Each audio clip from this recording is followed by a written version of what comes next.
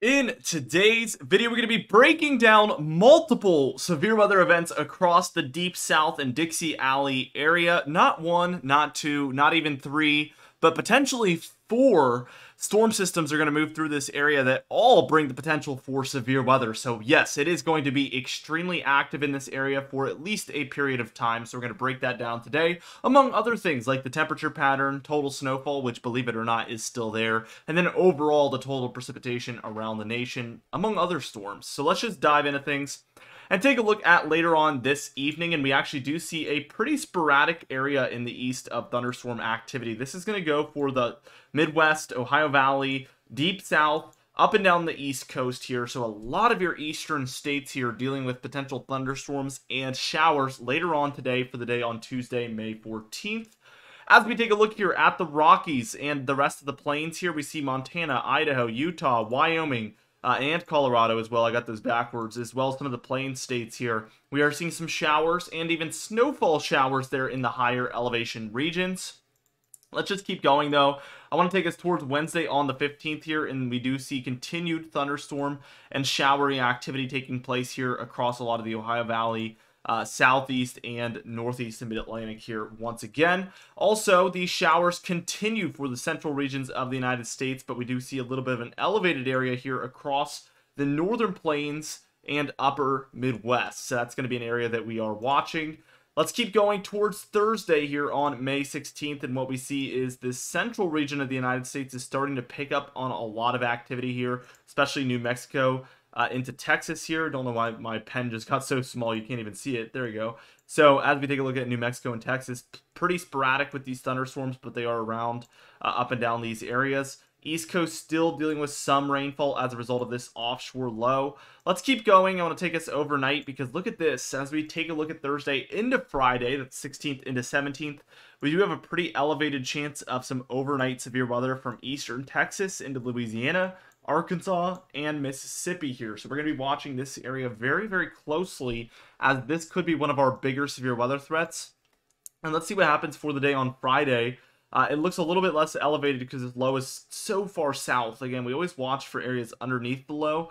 Uh, if the low was up here, I would say that we'd be looking at a much more intense area of severe weather. But with the low all the way down here, uh, we might have a chance here for this thin area. Uh, but I think that this is overall a hindrance of uh, potential severe weather overall, that low being so far south. Not to say that there won't be any, as I think this whole area in here could feature some thunderstorms for the day on Friday the 17th.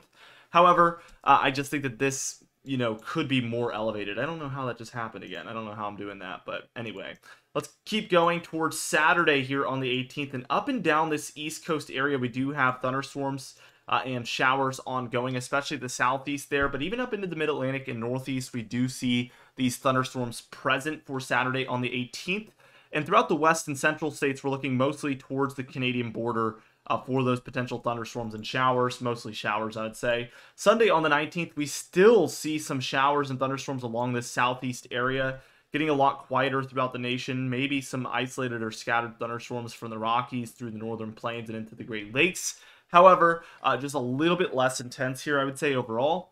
By Monday on the 20th, again, same story. Nothing too organized. We do see the Rockies into the Northern Plains seeing some activity.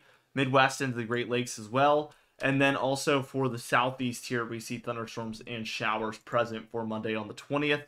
Tuesday on the 21st, it finally looks like we're getting going. We have a 997 in between Oklahoma and Kansas. A lot of warm front type precipitation to the north of it, nothing to the south of it yet. So let's take a look at Wednesday.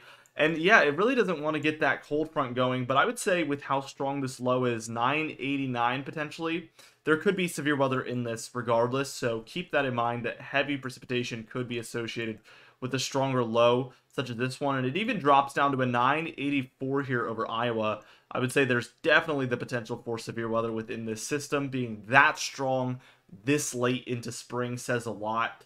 Uh, and as we move towards Thursday, this is racing, but it makes its way into eastern Canada. And we do have thunderstorms present for eastern Canada and the northeast of the United States here, as well as some scattered about thunderstorms throughout the plains and some of the southern Midwest, I guess is what I would call it there on Thursday the 23rd. Now, Let's go ahead and move into this extended range outlook from the European models AI model here that we've been taking a look at a lot. So here's storm number one. I mentioned there could be up to four storms in this deeper south area. So storm number one is ongoing. Uh, we see that one move away. But then we get storm number two here again. This is when we're watching for severe weather in this area overnight Thursday into Friday. It does expand uh, eastward over time. So that's storm number two. Storm number three dips into this area around Wednesday on the 22nd. We can see, again, pretty heavy uh, thunderstorms happening here across the deeper south there. And then storm number four potentially taking place here, uh, dipping into the area around Sunday the 26th. So definitely multiple opportunities for severe weather in this Dixie Alley area as we've been calling for for over a week now. It does seem like after this point, I mean, keep in mind it is 360 hours out, so take it with a grain of salt, but the activity does kind of return to the north here uh, after that fourth system, I will say. Uh, although I'm really taking this one with a grain of salt because it's so far out and it is a pretty big temp, uh, pretty big pattern flip, I would say, overall. Total precipitation, uh, no surprise, and it's been this way for multiple days, but east of the Rockies overall is where we're seeing the average to above average precipitation uh, here, and then it's very, very quiet along the west. So that is the look here, and this is very summer-like, so expect to see more of this over the coming weeks and months, of course. Total snowfall, don't expect to see much of this over the coming weeks and months. We do still have uh, inches to perhaps a foot here expected for some of the northern Cascades into the Rocky, Rockies, but this is very quickly actually receding now, uh, day by day, looking a lot less winter-like. So definitely we're seeing this slow down quickly. Here is the temperature pattern. We do see a cool down is present in the east, but we start to warm up finally by Saturday, Sunday time frame uh, in the east. And it's all due in part to this cool down that happens out west. So this really causes your jet stream to do this. So we see the warmth prevailing mostly for the central and eastern states with that cold dip out west. And that again starts around Sunday, Saturday, Sunday, 18th 19th time frame, and really wants to stick around for a while.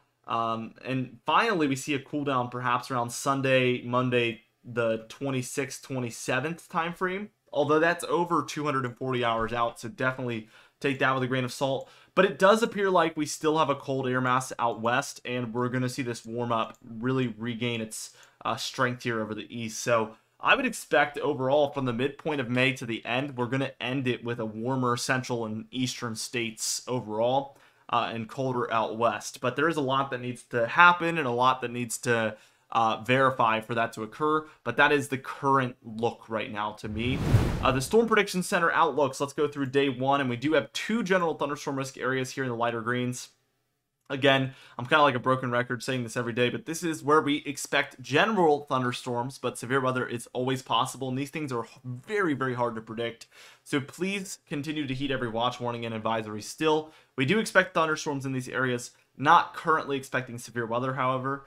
Uh, we do have four marginal risk areas. That's going to be your level one severe weather risk. We have one here for the Plains and Rockies, one here for Texas, one for the Southeast, and then one for New England very, very odd, but that is where we expect isolated severe weather to occur. And then we have a two yellow areas here that's going to be your slight or level two uh, risk for severe weather, and that's where we expect scattered severe, severe weather reports to come in. Day two here, which will be for tomorrow on Wednesday, May 15th, we have three general thunderstorm risk areas, one for the Sierra Nevada, one for the Rockies and Plains, and then one for the Southeast again. Again, general thunderstorms in those areas. And then three level one marginal risk areas here one for the plains, one for the Carolinas, and then one for Florida. Uh, and this is going to be isolated severe weather expected in these areas. Day three, we see two general thunderstorm risk areas in the lighter greens, two marginal risks here in the darker greens, and then one slight risk area here for Texas.